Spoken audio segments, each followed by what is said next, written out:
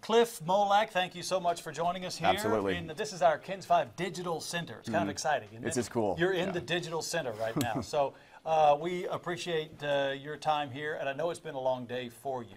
So our, our, our topic, what we wanted to get into, is something that is very near and dear and important to your family. I understand that. Uh, David's Law, or I guess we're calling it David's Bill.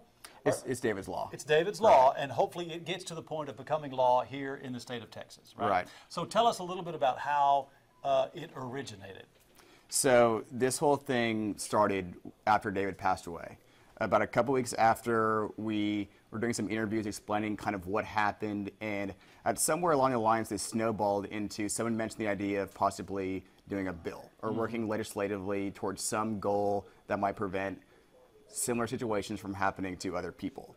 And from that, um, Senator Menendez got involved, and he re- Local state senator. Right, local state Jose senator, Menendez, Senator right. Menendez from right up the street. He got involved with us, and we started discussing ways that we can help prevent this in the future. Mm-hmm.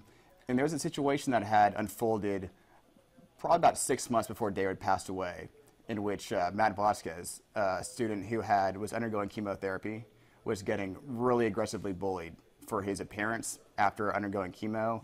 Uh, people would take his photos, take photos of him that his family was sharing to get him support. They would take those photos, they would manipulate them, um, talk about his appearance, and then they went as far as giving, explaining different ways for him to take his own life, telling him why he should do it, that he needs to do it to help make everybody else feel better around him. So it was, it was a really terrible thing that he went through. And then David, so shortly after the situation happened, taking his own life only helped fuel the fire.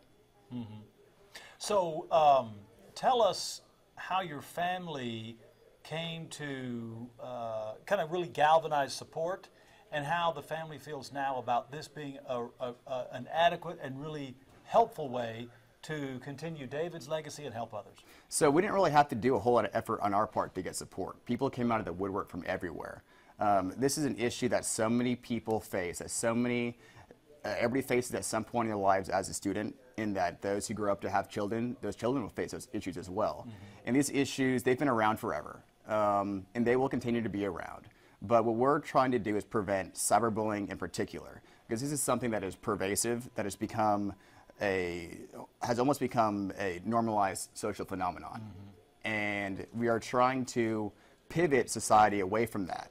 Um, during today, uh, talking to Senator Menendez, he, uh, he gave a soundbite today, which I, I really liked. He said that the reason we create laws is to set boundaries for our society. And I think by setting those boundaries, we'll be better able to direct society in a more positive way. So, what would uh, David's Law actually do? It, it, first of all, defines cyberbullying and then uh, makes it a criminal offense. What does it do? So it does. It, it defines cyberbullying, and then there's it affects th- the three different components of the law: the criminal code, the education code, and the um, the uh, civil code. And there's different parts to all those things. Um, we want to get the schools more involved in uh, the cyberbullying because it grossly affects every individual who goes through it at school. Just because it doesn't happen between the hours of 8 to 3 on school grounds, it still affects them at school in a very negative way. Um, and during this sort of thing causes a lot of emotional distress. Um, it doesn't cause anyone to take their lives. Taking someone, someone taking their lives is a very multivariable thing. You can't point to one event and say this is what caused Right, it. right. So this will help to eliminate the uh, sort of the peer-to-peer abuse that Mm-hmm. can be a contributor in a lot of cases. Um, so our goal is to get the schools more involved. Okay. Um, so, it, it basically defines cyberbullying as. What, it- what would the definition be? Um, so you have to look it up. I can't tell you what okay. the exact But it's- it's is. defined, It's, it's a little wordy. And then it elevates once someone is identified as being the source of cyberbullying. That is a misdemeanor, or how is that classified? Right. So originally we wanted a state felony for the very severe cases of bullying. There was a case a couple of years ago. This is a very uh, unique case in which it was a uh, it was a couple. It was a, a, a boy and a girl who were who were dating. I think they were probably about 16 years of age, and uh, the boyfriend became suicidal at, at some point, and he was talking about taking his life to his girlfriend. And instead of her, you know, pushing him in a positive direction, she said that he should do it. and started giving him ways to do it, telling him that he should do it. There was one case when he was trying to back out of it, but she told him to get back in the car and finish it, that everybody would be better because of it. And, you know, I can only assume that she was doing this because of the, uh, you know, she would get a lot of publicity. She would get a lot of, um, you know, as bad as it is to say, probably a lot of likes on her next Instagram photo. Yeah, yeah. It's hard to say what goes through someone's mind Right. to, to um, drive them to uh, become a cyber bully. Right, right. In this case, it was so much worse than that. Yeah. But that's why we had the, the felony charge in there to begin with. That has Yeah. now since been taken out. Um, So this would, uh, obviously, once it goes through, if and when it goes through and gets signed by the governor, would become a statewide law. Correct. In your research or as you prepared to uh, make this push, did you find out about other laws in other states? Is this there are. happening There, across the there are. country? There's, um, I can't give you an exact number, Uh-huh. but between 10 and 20 other states have adopted a cyberbullying law. Okay. Some have names, like I think Maryland has Grace's law, Mm-hmm. and other states have similar laws that have been put into place in the last, you know, three or four years. Mm-hmm. Now, it's harder to do that in Texas because Texas meets every other year. And in this, this society, this, technical, this technical, technological blossoming society that we live in today, it's important that we keep Mm-hmm. up with technology. So the good news is, let us know, kind of give us an update on where David's Law stands right now. We had some good news uh, for your, your cause today in Austin, right? Right, we had very good news. Had the best news we've had in a long time. We, uh, Senator Menendez was on the floor today, gave a phenomenal speech.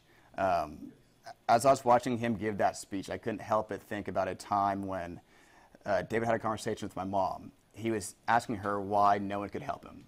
And at that time, we were doing the best that we could to switch him schools, do everything that we could to help him feel comfortable in the environment that he was in.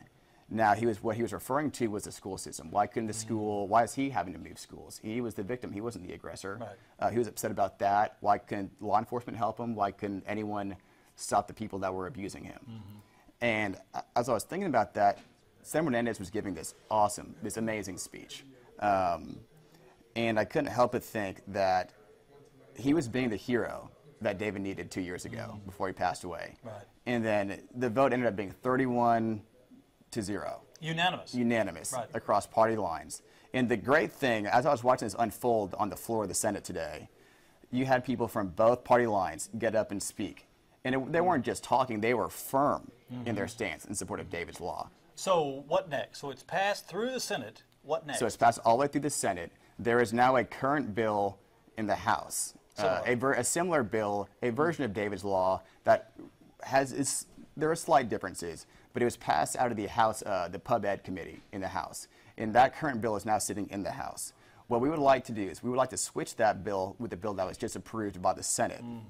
We want to help get that pushed through, and if there's any sort of changes, then it'll go on to a, a different committee, and then to blend the two. Right, to blend the Right, two, right. right. Um, then and that, would go to that's a, uh, well, after that, it goes back to the, the House, then back to the Senate. Mm.